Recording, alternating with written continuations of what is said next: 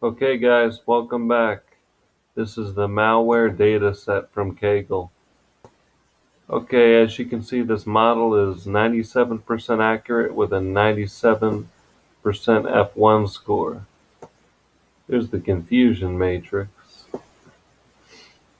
Okay, and then as you know the model goes in the bucket, the pickle file, and then you deploy. From last time, you should have known the steps up until then. Okay, so I made a prediction, right? This is the input to the malware. Uh, what does it predict? Zero, not malware, based on these numbers I put in at 97% accuracy. Okay, guys, and then there's one more thing I wanted to mention. Can evaluate the model's performance.